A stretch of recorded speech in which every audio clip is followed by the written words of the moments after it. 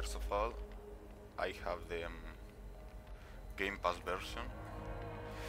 So uh, for Steam, it will it will be pretty the same, just in another folder. I will write you the folder locations in the description. But both will be in local. And for the Microsoft version, you need to go to Packages, GSC Game, System App Data, XGS, say game data, and here are the saves. You will have the older saves here too. Uh, if you can locate the old saves, just go back here in the Microsoft version and delete delete these three folders. Then open the game again and it will download everything. So after that you can continue with the next steps. So now you need to create a new game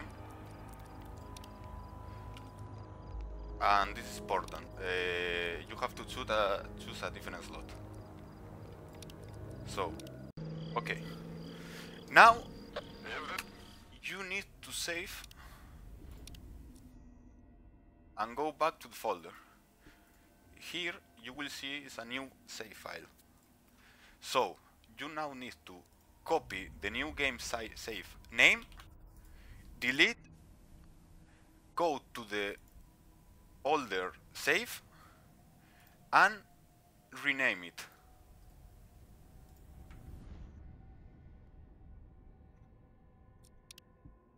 After that, you will load. Yeah. And here we are, back on the old save. Точно. So you only have to follow my steps. It's uh, pretty simple, and mm, you have it. You can enjoy the game again. Bye.